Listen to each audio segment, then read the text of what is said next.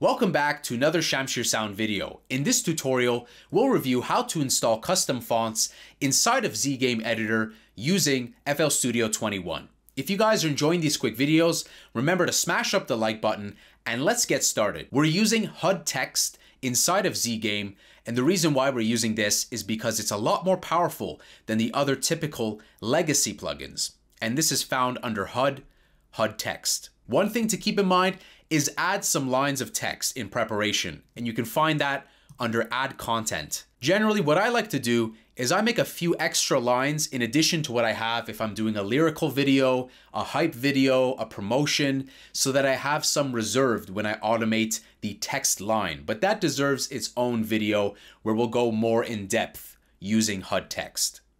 Now that you've added some lines of text over on main, we can see so many controls, but let's focus on font. We can see a great list of options under font to use already that come with ZGame.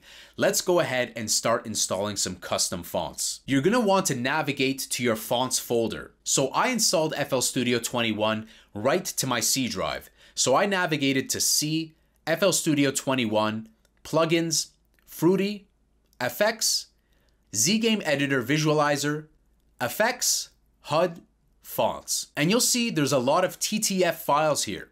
So all you need to do is go to your favorite fonts website. In this case, we'll use Google Fonts, download the TTF file, and go ahead, extract that content, take that TTF file or files and throw them in this folder. I went ahead and downloaded Bebas from Google, and all I'm going to do is I'm going to copy this and paste it in that folder. We can now see that it's been placed here. We don't see the new font here yet. Let's go ahead and restart FL Studio. With FL Studio restarted, we can now see Bebas, the new font that we just installed, ready to be used. I really love HUD text one reason being that I can add these custom fonts, but also the amount of automation that can be done and effects that can be applied to text. So try it out, try installing some custom fonts. If you guys enjoyed this video, remember to smash up the like button. If you're new to the channel, smash the subscribe button, hit that notification bell, and that way you're alerted of the daily uploads. And I'll see you guys in the next video. Have a great day.